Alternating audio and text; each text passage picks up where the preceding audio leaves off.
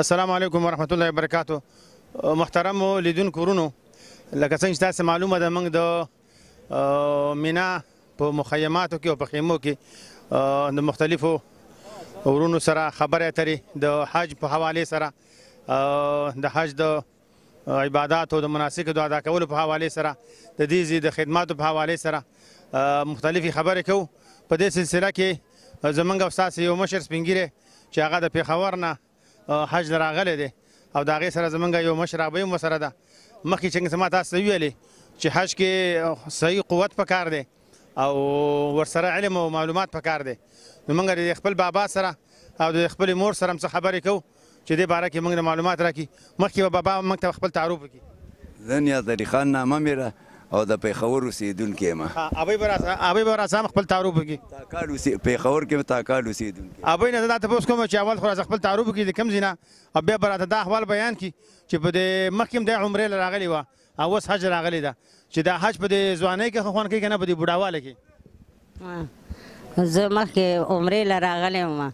خو دونه تکلیف راته نو میلاو شوی لکه چې کم نن میلاو شو ولې چې هغه نږدې بلډینګ و نو ښه طواف له به هم راغو خو د دغه له تهجد لمونځ له به هم راغو خو اوس مونږ خو بس اوس بوډاګان یو که نه هغه ځوانۍ کې خوند کولو هغه وخت د هغې شپږ کاله کېږي چې زه راغلی یم نو هغه ما ښه طوافونه هم کولی هر څه مې کولی شو خو اوس چې دا نن کوم ما ته تکلیف میلاو شو که نه چې د زما د خپو زما د خپو تکلیف او ما ته ټیکسي والا نه راتلو دې خوا ته په مونږ باندې پابندي ده ښه لکه څنګه چې تاسو معلومات دی ورونو رسول الله صلی الله علیه وسلم حدیث دی چې لکنا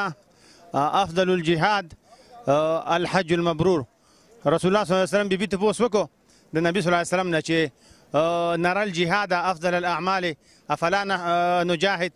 چې جهاد موږ ته غوره عمل احکار نو جهاد ونکو نو نبی صلی الله علیه وسلم ورته فرمایل چې نه ساسې د پاره غوره جهاد چې دی هغه حج کول دي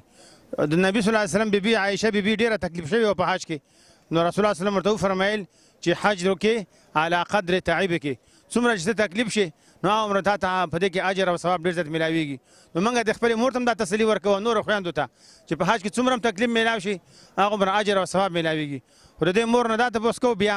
چې ستا آینده لپاره څه پروګرام دی چې تکلیف او سخت وخت درورسېدل الله به اجر درکړی خو بیا د حج د راتلو پروګرام شته دی که نشته دی بېشکه بلکل مې شته خو چې د اوس داسې لکه چې دا اوس راغم او دې حالات کې راغم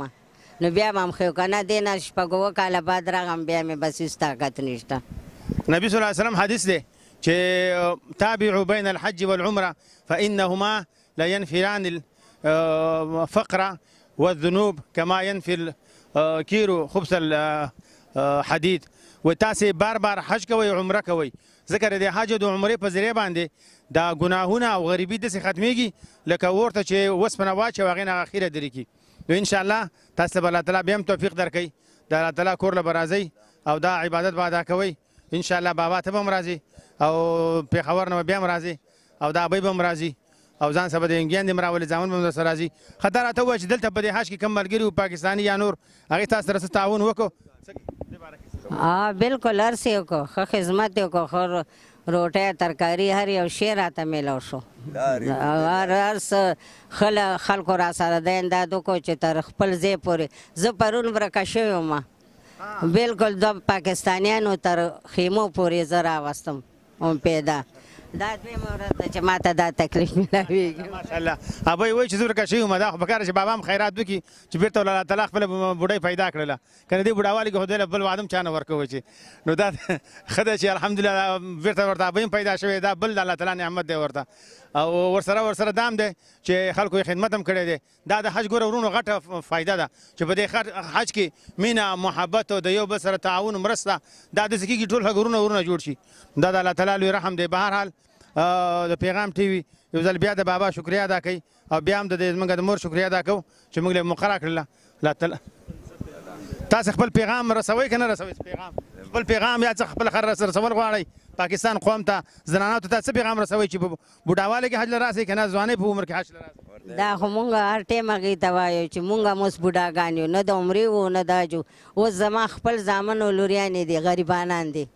اوس دې الله دې له توفیق ورکړي چې په ځوانۍ کې راشي او ټول خلک هم دا وایي چې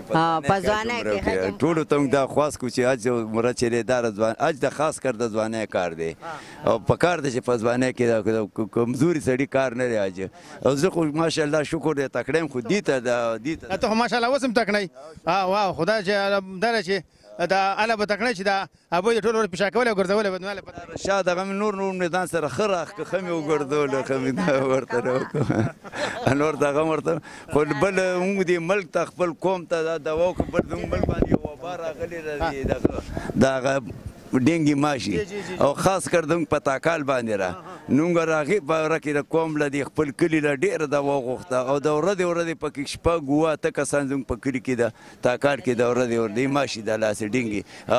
زما خپل نسې په کې مړ شو د دیار لسو کالو او يو نس يې مو بس نورې دوه لوريانې يې نور بچي نشته او هغه هم ته الله پاک په دغه دغه کې واغشتو په ډنګي ماشي دغه باندې ها نو اوس حکومت خو د صوبې حکومت نه خو پاتې و خو د سنټر حکومت هم لګه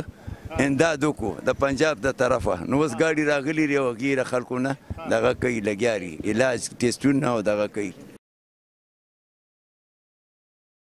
دا صحیح ده منګه